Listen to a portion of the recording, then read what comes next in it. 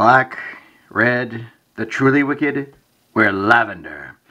Beast Wars second, Galvatron, today on World of Stuff. Okay, let's start off in Dragon mode here, where things are incredibly bizarre. Because we have some wings right here, but we also have some rather epic shoulder pads right here. And yes, that is gold plastic. And it is gold plastic you have to worry about. Ironically, this isn't the part you have to worry about, because I had to put those on manually. Now, the part you have to worry about is the feet. Because as soon as I got this out of the box and I started transforming it, this happened. Now granted it isn't as bad on mine as it could be, but still it can produce some structural and support issues. Just keep that in mind. But getting back to the robot itself, well, the dragon itself, see some rather, well, kind of unavoidable kibble there. But still, a very nice presentation. And there's actually a couple ways you can support pose this figure. Standing like this, which I prefer. Then there's the instructions, which kind of have you doing that, sitting down. Now granted, he is a space pirate and a gangster. That's gangster, not gangsta. So, I imagine this is kind of how they'd imagine their gangsters to be. Just kind of sitting down, waiting for someone to screw up so they can slap them. Oh. Or, if you so choose, have him breathing fire. Yay. Alright, now they got the beast mode covered. We're going to cover the uh, vehicle mode. The popular non-vehicle mode of Japan, the drill tank. Anyway, we'll start by moving this part to the front of the head, twisting this part around, straightening the neck out, and then collapse and combine.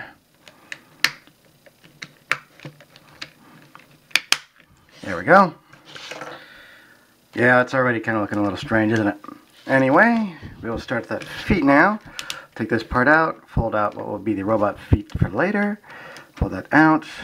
Here now fold in. Then we will fold this part back in on itself. Very nice. Repeat on the other leg.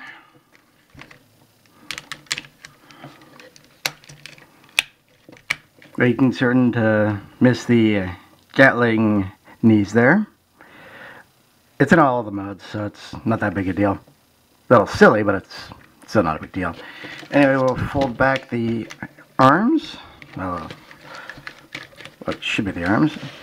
Okay. That, that does come off, so that does play an important part into the robot mode later. And we will separate the hip assembly from part right here, fold this part out, then bring these two parts together and twist the legs so that it goes like this, like that, because there's a little peg here that this little port goes into. of course, it also helps when you bring both the hip assemblies together. Come on. There we go. Then clip in the waist piece right here. Then plug into that. Then we will fold these parts down. And there we go. Drill tank. I told you it was ridiculous. Now in vehicle mode, he does have little wheels that allow him to coast along on a flat surface, which is nice. He also has... Now don't laugh. I know what some of you are going to be thinking when I do this, but it's not what it's intended to do. We push down this plunger here and... Yes, it spins. It spins, Billy. I'll give you a minute. Well, we've seen the odd beast mode and the incredibly odd vehicle mode. That really just leaves the robot mode, doesn't it? We will start by folding these parts up and back this way, and folding those back that way. That does come into play later, trust me. Anyway, we'll fold up these parts again, then bring back down the legs, unpegging this part, fold up down the feet. This this little uh, groove right here puts that part into place. So if it is broken, it will stay put. That's why I'm not too worried about it. But it might be a problem for you. Again, GPS, nothing you can do about that.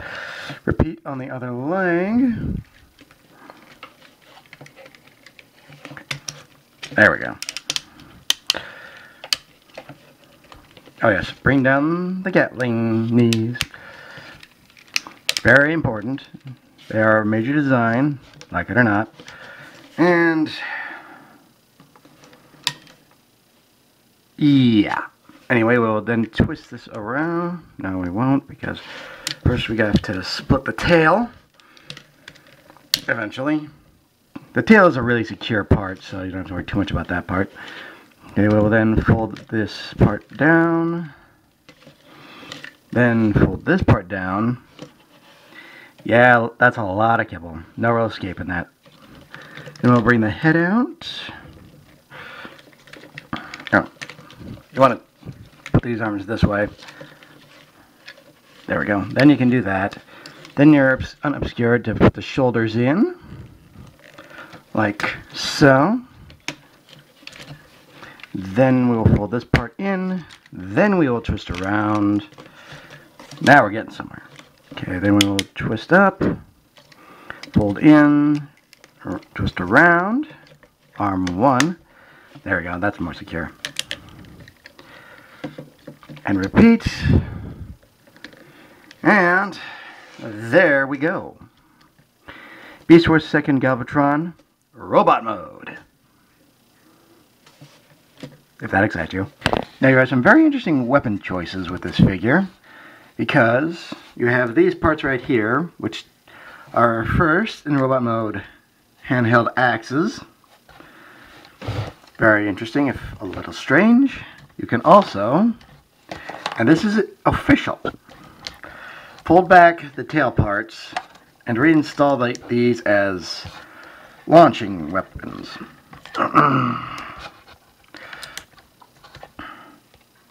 yes.